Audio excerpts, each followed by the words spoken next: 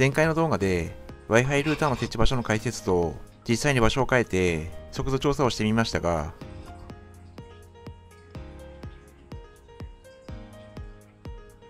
こんな感じで効果の方は出ております。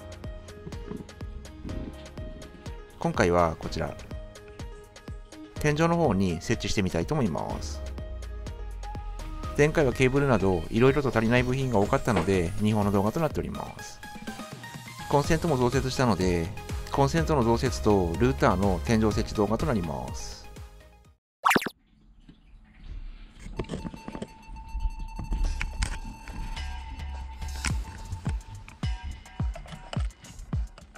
コンセントの増設に関しては 100V を扱うので電気工事士の資格が必要な作業となります。この配線は 100V の直電源なのでこの線を分配して使っていきます。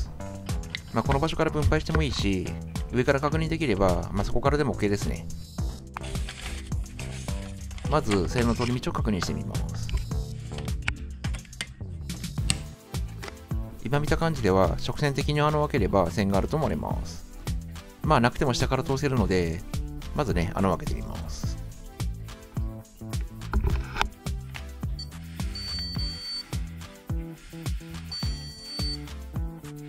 まあとりあえず小さく開けてみて、石膏ボードなのでカッター等でね、簡単に切れます。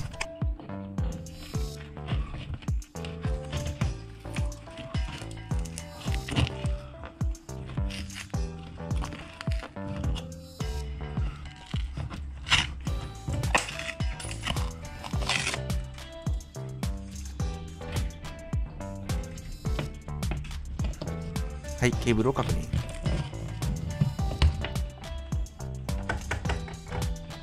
ステップルで固定されてるみたいだけど、反応するので大丈夫そう。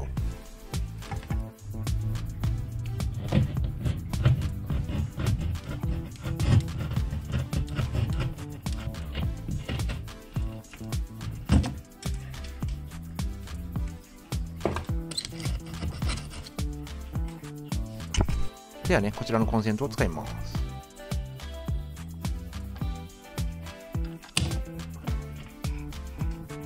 線をカットして中継させます。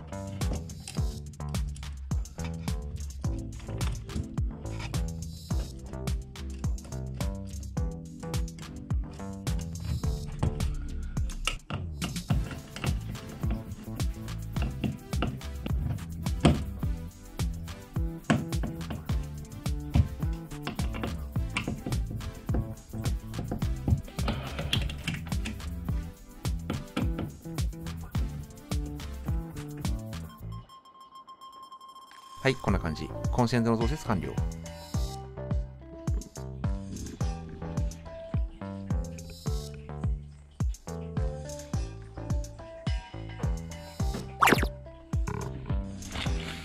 はい、では次ですが、Amazon でこちらを購入。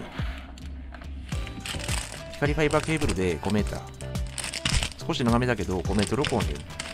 カットの方ができないですね。で、こちらが棚ですね。ゲルテープの服と石膏ボード用の針の服がついています。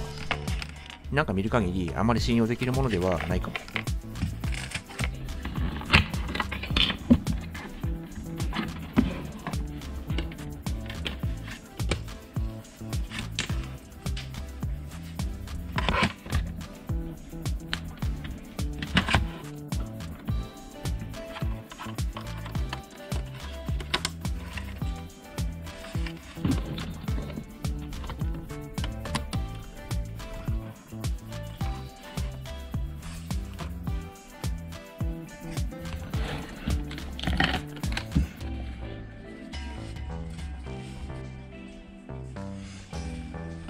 ただ 360g とかなり軽量です。壁の固定はこれだけ。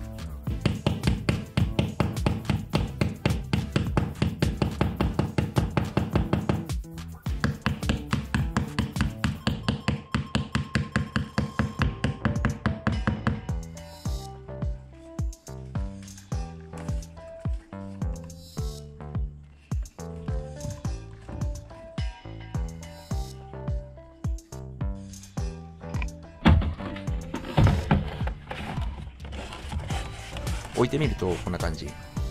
ちょっと怖いですね。なんか地震とかで落ちそうですね。ということで耐震のジェルマット。強度が心配なので真ん中にもねビスを追加。最終的には TA も載せてみて光電話に使う機械。まあ営業電話しか来ないので必要はないんだけど、一応つけてみます。はい、完成です。見栄えの方は結構ね、よくできていると思います。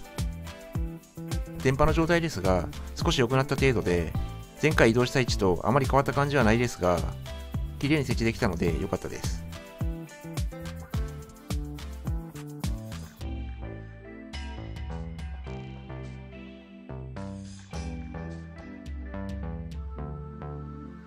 コンセントの向上しなくても、ルーター本体だけを移動させてもいいし、まあ、工夫をすれば様々な方法で固定は可能です。